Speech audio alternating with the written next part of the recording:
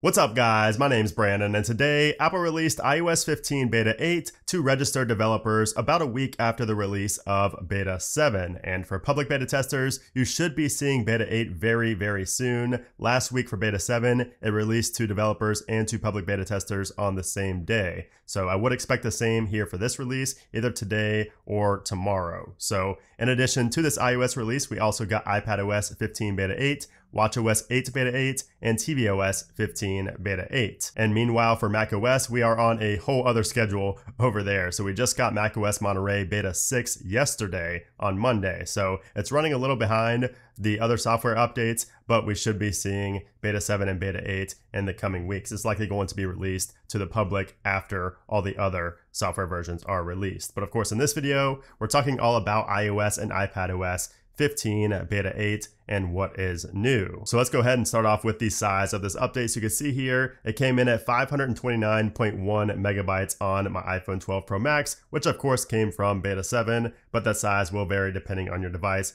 and the version you're coming from. So if we go to our settings now and go to general about, 15.0, you can see the build for this release is 19A5340A.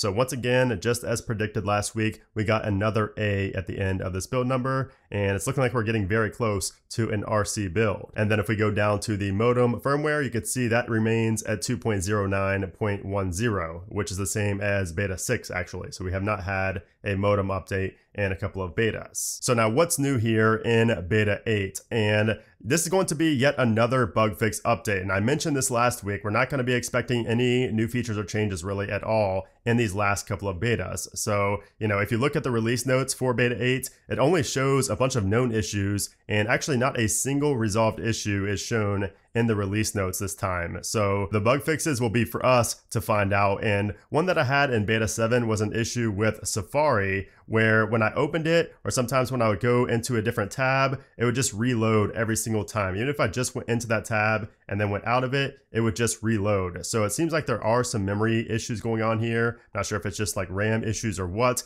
but there does seem to be an issue with tabs reloading constantly here in Safari. So I'm not sure if this is fixed yet in beta 8, but myself and others have had this issue where tabs will just randomly refresh. So hopefully that is fixed and I will let you guys know in my follow-up video because right now it appears to be fixed, but it's too early to tell just yet. Now, one bug that has been resolved here in beta 8 has to do with messages. So in beta 7, I had a lot of issues with messages. Basically when I would go and tap on an image that was sent to me and then I went back, the text box right here would just disappear and it would just be a blank space right there and I'd have to go out of the message and back into it. But in beta 8, that appears to be fixed. I've tried several times to reproduce it. You can see there it's still a little bit laggy. You can see that there's still some lag there, but it does appear to be fixed, at least that part of the bug. And inside of our iCloud settings, you can see here that private relay still shows as being in beta. So you can see there it shows beta both times, and it basically just says how it may not perform properly as it is in beta. And Apple actually mentioned in beta 7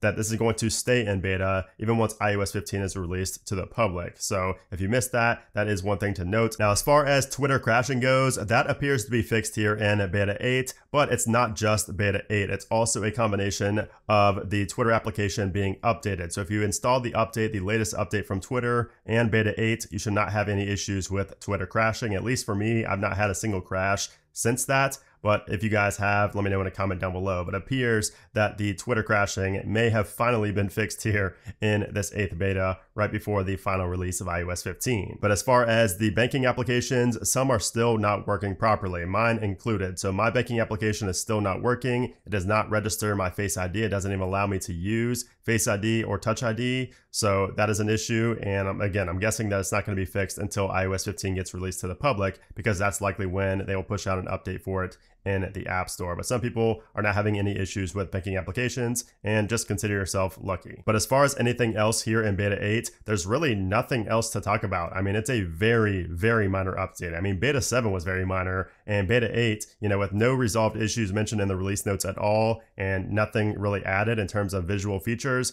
you know, there's not too much to talk about here with beta 8. So again, there are going to be bug fixes. It is an A at the end of the build number, which means we should have, you know, more stable of a software and, you know, things overall are going to run better. Things are going to crash less like Twitter and things like that. But overall, it's a very, very minor update. So there are still some bugs that I did want to mention that I was facing in beta 7. Hopefully beta 8 fixes them. But again, Apple did not mention any resolved issues, so it's hard to tell just yet. But one issue I consistently had in beta 7 is where the contact photos and messages would just simply not show up. You can see it just showed up as a little gray circle there. It happened twice for the same contact, and that would consistently happen. And these are not new contacts or anything like that. It just continuously happens. So I've been having a lot of issues with messages, especially when you're in a group chat. It seems like the contact photos are having issues, and sometimes phone numbers show up instead of the contact name as well, but it's mainly only in these group messages. I also had this issue here in beta 7. You can see here that the notifications kind of overlap in the notification center. So I believe I had this in like beta 2 and it went away all the way up until just a couple of days ago here on beta 7. So there is still an issue with notifications overlapping in the notification center. And then I also recorded this little screen recording here where the spotlight search was just simply not working at all. So you can see there, I would type in something, I would even type in the entire app and it just simply would not show anything under Siri suggestions. And then eventually it would work after a while, but it would be, you know, very laggy and just not work all the time. So there were issues in Spotlight Search here and at beta 7 as well. So that was actually just, you know, last night right before beta 8 came out. So hopefully those issues will be addressed here in beta 8 and I will let you guys know if they are in my follow-up video this weekend. And then also some people are having issues with AirPods just randomly disconnecting and just having overall connection issues. But me personally, I've not had any issues with my AirPods at all. My AirPods Pro or my AirPods Max. I've had absolutely no issues with connectivity. So if you are having that, let me know in a comment down below if it has been fixed because I can't test that because I never had that issue on beta 7. Now, as far as performance goes, on beta 7, it was really good and I didn't really have any issues at all besides the minor bugs that I mentioned a moment ago with the messages, the notification center, and the spotlight search, and sometimes in Safari, but they're very, very minor bugs and really nothing that impacts me on a day-to-day basis. So overall, the performance was great in beta 7, and I would expect beta 8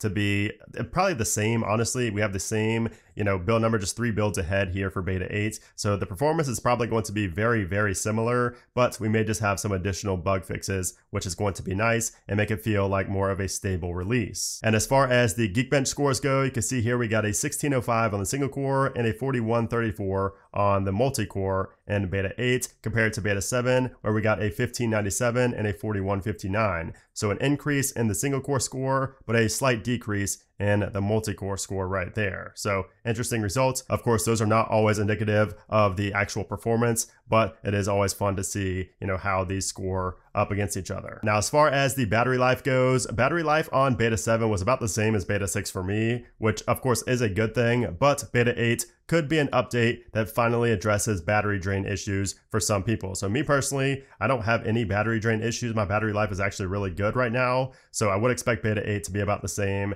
as it has been for the past couple of betas, if not a little bit better. And of course, like usual, I will report back this weekend in the follow-up video with how that performance has been here on beta 8. So now what is next for Apple? So today is August 31st, the final day of August, and tomorrow starts September, which is going to be, of course, the big month for Apple, where we will see an Apple event, the new iPhones, and of course, all of the new software, including iOS 15. So what can we expect to see leading up to the release of iOS 15? And I think that next week, the week of the 6th, is when we should see an RC build of iOS 15 released to developers and to beta testers. So the RCs could really come out on any day. So really any time from the 6th until the 9th would be my opinion. Now, if we do see an RC on like the 6th, then we could actually see an RC2 later on in the week before the final release, which should be on the week of the 13th. So sometime probably between the 13th and the 15th is when we will see iOS 15 released to everybody. So my guess is going to be the 15th just because I would like to see iOS 15 released on the 15th. I think it would be cool and it would make sense.